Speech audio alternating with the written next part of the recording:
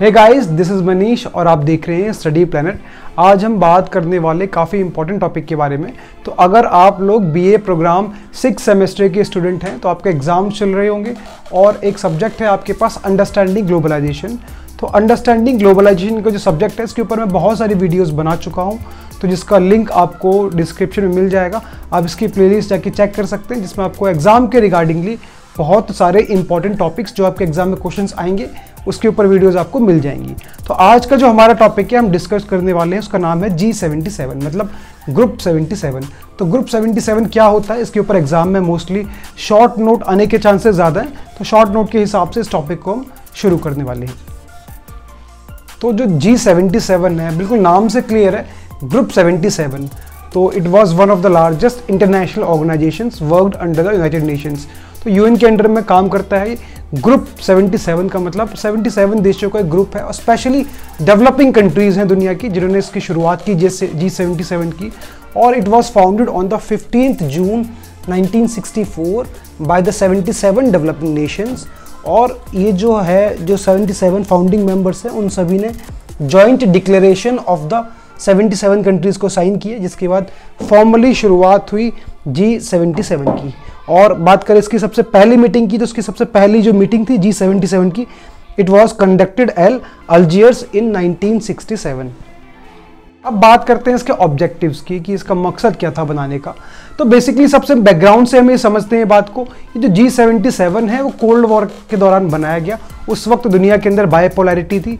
तो जब बायोपोलैरिटी थी तो यहाँ पर जितने भी जो देश नए आज़ाद होकर आ रहे थे कुछ लोग डेवलपिंग थे, कुछ अंडर डेवलप थे। उन सबने इसकी शुरुआत की थी। तो पर्पस ये था कि कोल्ड वॉर को और बायोपोलैरिटी को ये लोग कॉम्बैट भी कर लेंगे और साथ साथ अपना डेवलपमेंट भी कर लेंगे। तो यही से हम इसके ऑब्जेक्टिव्स को समझ तक समझ सकते हैं कि जो जी सेवेंटी सेवन था, उसको बनाने का बहुत सिंपल सा पर्पस था कि जितने भी डेवलपिंग कंट्रीज़ हैं, उन सब के कलेक्टिव इंटरेस्ट को बनाए रखना और इनकी नेगोशिएशन कैपेबिलिटीज़ को बढ़ाना, उसको वाइडर करना और इसके साथ साथ जितने भी डेवलपिंग कंट्रीज़ हैं उन सभी का जो रिलेशंस हैं, अच्छे रिलेशंस को बनाए रखना और उसके साथ साथ इकोनॉमिक और टेक्निकल कॉपरेशन करना उनका।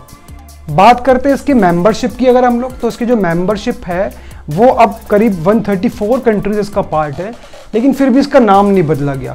इसकी हिस्टोरिकल इंपॉर्टेंस को देखते हुए इसका नाम आज भी जी सेवेंटी सेवन के नाम से जाना जाता है। हालाँकि इसके अंदर आज के टाइम पे 134 मेंबर्स हैं। और बात करें इसके प्रेसिडेंसी की तो उसका चेयरमैन कौन है अभी?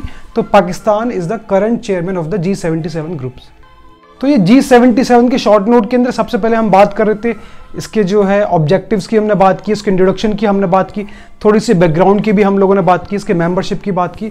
अब ज़रूरी है पार्ट है इसका कि कोल्ड वॉर के बाद कोल्ड वॉर खत्म होने के बाद जी सेवेंटी सेवन के जो मेंबर्स थे, उनके रिलेशन में किस तरीके का बदलाव आया? या उसके कुछ ड्रॉबैक्स थे जो सामने निकल कर आए? तो ये सारे हम डिस्कस करते हैं, उससे पहले आपको बता देते हैं कि अगर आप लोग हमारे चैनल पर नए जुड़े हैं तो आप हमें सब्सक्राइब कर सकते हैं, जिसमें आपको पॉलिटिकल साइंस और हिस्ट्री से रिलेटेड बहुत सारी videos class eleven twelfth graduation या पोस्ट ग्रेजुएशन की वीडियोस आपके सिलेबस के अकॉर्डिंगली मिल जाएगी। और अगर आप लोग ग्रेजुएशन में हैं तो आप लोग की अलग अलग प्लेलिस्ट बना रखी है आप चैनल पर जाके देख सकते हैं। तो जिस भी प्लेलिस्ट मतलब जिस भी सेमेस्टर में आप हैं, उसकी प्लेलिस्ट आप चेक कर सकते हैं। और इसके अलावा अगर आप लोग हमसे पेड कोर्सेज या फिर पेड नोट्स चाहते हैं तो उसके लिए आप हमें इंस्टाग्राम पे मैसेज भी कर सकते हैं।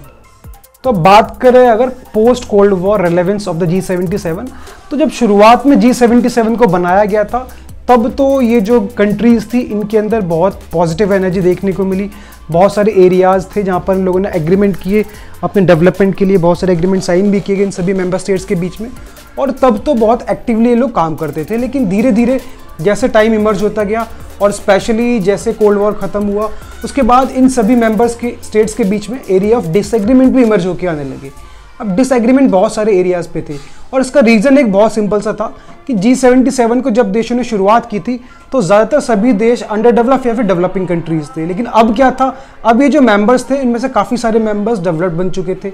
और इसीलिए क्या हो रहा था? जी सेवेंटी सेवन के अंदर कुछ मेंबर्स ऐसे थे जो कि फास्टर पेस पे काफ़ी डेवलप हो रहे थे as compare to the other members of the G seventy seven तो इसको लेकर यूनिटी में थोड़ी कमज़ोरी आई जी सेवेंटी सेवन के अंदर। और इससे बड़ी बात, जो कोल्ड वॉर था, वही ख़त्म हो गया। क्योंकि कोल्ड वॉर के टाइम पे इसको बनाया गया था तो तब इसका रिलेवेंस बहुत ज़्यादा था जो कंट्रीज़ थी। अब कोल्ड वॉर ही ख़त्म हो गया बायपोलरिटी ख़त्म हो गई तो उसके बाद भी जो इंटरेस्ट था इस ग्रुप का, देशों का, वो भी पहले से काफ़ी ज़्यादा कम हुआ। तो अब सवाल उठता है कि क्या सच में अब जी सेवेंटी सेवन का रिलेवेंस बचा है या नहीं? तो ऐसा बिल्कुल भी नहीं जी सेवेंटी सेवन का रिलेवेंस आज भी काफ़ी इंपॉर्टेंट है।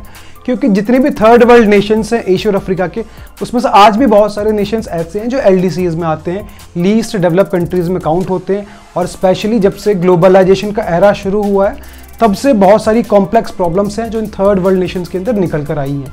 तो जी सेवेंटी सेवन का जो ग्रुप है, उसकी रिलेवेंस आज भी बहुत इंपॉर्टेंट है, जो कि एक प्लेटफॉर्म प्रोवाइड करती है सभी देशों को जो डेवलपिंग और अंडर डेवलपिंग कंट्रीज़ हैं, उन सभी को, कि वो अलग अलग इश्यूज़ के ऊपर डिस्कशन कर सकते हैं जैसे कि the role played by the oil in the world economy the growing disparities between the haves and have nots मतलब इकोनॉमिक इनक्वालिटी की भी बात होती है इसके अंदर।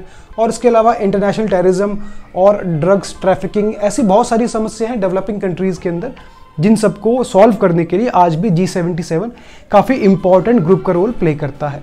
तो ये पूरा शॉर्ट नोट था जी सेवेंटी सेवन का। आई होप आपको वीडियो काफ़ी इन्फॉर्मेटिव लगी हो। तो आप इसको ज़्यादा से ज़्यादा शेयर कर सकते हैं अपने क्लासमेट्स के साथ और चैनल को सब्सक्राइब कर सकते हैं। Thank you so much for watching